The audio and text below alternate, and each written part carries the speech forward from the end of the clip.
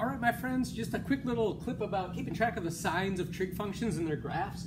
Um, if you're over here in the first quadrant, so that means you're just somewhere over here, you've cranked up to this angle, um, cosine pulls off the shadow of this thing onto the horizontal axis.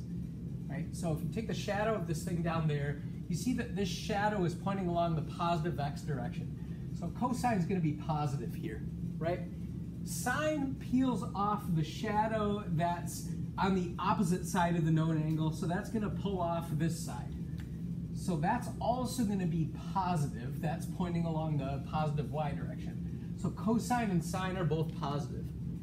Tangent, of course, is just sine over cosine, so that would be positive over positive. So tangent itself is positive in this quadrant.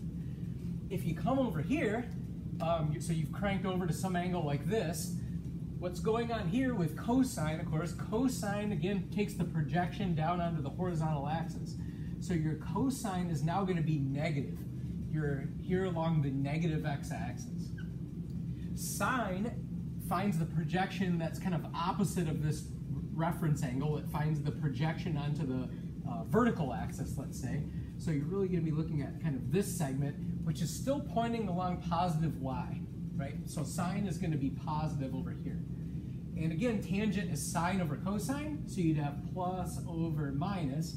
Um, so your tangent function um, is going to be negative here, because po anything positive over negative is going to give you a negative thing.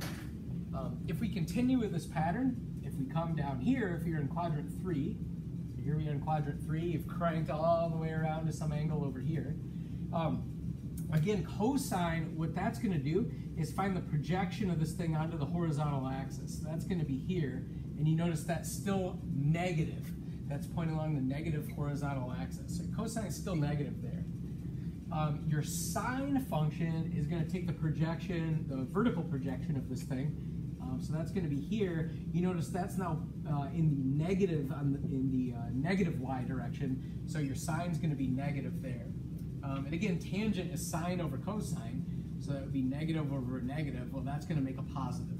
So tangent is going to be positive in this coordinate, um, in this uh, quadrant. Um, finally, wrapping up over here, um, if you're in the fourth quadrant, you've you know cranked all the way around to here. So you're somewhere in this quadrant. Um, and again, your cosine is going to take the projection of this thing onto the horizontal axis. Um, so cosine will peel this part off. That you notice is along sort of positive x. This thing is in the positive uh, uh, x direction. And so that's going to be, uh, cosine is going to be positive there.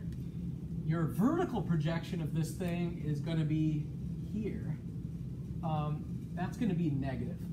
Um, and so then, uh, again, tangent is sine over cosine, or negative divided by a positive, which of course will give you a net negative. Um, and so that kind of summarizes the signs of these things. Um, if we go to graph them, and you can kind of see that this all comes together if you go to graph the functions, um, anywhere in quadrant one, your horizontal projection is, is going to be positive. And so cosine is going to be maximized here, positive throughout quadrant one until that horizontal projection goes to zero when you get to 90 degrees. So that's why your cosine function, when you graph it, it starts here and then it goes to zero once you get um, once you get to 90 degrees where you're getting out of the first quadrant. Um, as you continue to, to crank the angle, the cosine is going to switch signs here. This horizontal projection flopped around. Um, so it's going to switch signs um, and become very negative when you get to pi radians over here. So this, again, cosine is keeping track of the horizontal projection. So horizontal projection is positive, positive, positive, getting smaller, zero. Then that goes negative, negative, negative. And the horizontal projection is going to continue to be negative while you're over here in quadrant three. So cosine continues to be negative while you're in quadrant three and then goes back to being positive when you're in quadrant four. Um, so there's your cosine wave developing. Um, and then sine is really kind of keeping track of this uh, vertical projection. You notice when you're up here, your vertical projection, your vertical shadow, if you want, of this hypotenuse is always going to be positive. So sine stays positive throughout the first two um, coordinates.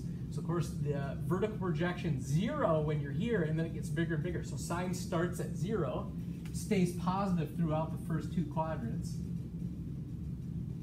And then you notice the sine function starts to go negative here. Uh, the, the vertical projection is negative throughout the last two um, quadrants. So sine, your sine wave is going to look like this. Um, and then finally we get to the um, tangent function, which again is, is really sine over cosine, opposite over adjacent. Um, so you're really looking at the ratio of this opposite side to the adjacent side. The opposite side's so small when you start here, right? So the opposite side is going to be zero, so you know tangent's going to start at zero. Um, and then as you crank this angle up toward 90 degrees, that opposite side gets really big and the adjacent side gets small. So tangent's going to blow up. Um, when you're at 90 degrees, it's going to blow up to infinity. So your tangent function is really going to take off here like this, uh, heading for uh, positive infinity there. Um, and when you get over to this side, right, your um, again it's it's like opposite over adjacent. So your opposite side will be this big positive thing, big positive thing over the adjacent, which would be a uh, very small negative thing. So big positive over small negative um, will give you big negative. So it's going to be big, um, small and negative. So your, your tangent's going to um, start coming back from here. And then by the time you're at pi radians, once you've cranked all the way over, your opposite side, your vertical projection, is, is going to be um, near zero. Um, so tangent itself is going to be near zero. So it's going to kind of come from negative infinity and head up to um, being zero here at pi radians. Um, and then um, this is just going to continue as you as you start to crank this angle, your vertical projection is going to start to grow. Um, and so your tangent function is going to be positive throughout this quadrant and growing. Um, so it's it's just going to take off toward positive infinity. Uh, and then finally, when you get over here, um, when you've just passed what's this 270 degrees, if you're at an angle here, your tangent function is going to be this big negative vertical projection divided by a small positive um, horizontal projection. So big negative over a small positive um, will still give you a very big negative. So it's going to start here at a big negative number near near infinity, um, and then head up toward being zero um, once we get back here to 2 pi. And then the, and then the cycle just repeats. Um, so there's your graphs of your three um, uh, basic trig functions. Uh, and then of course there you have the rear um, reciprocal uh, functions like, like secant, cosecant, and cotangent, which are just the reciprocals of these things.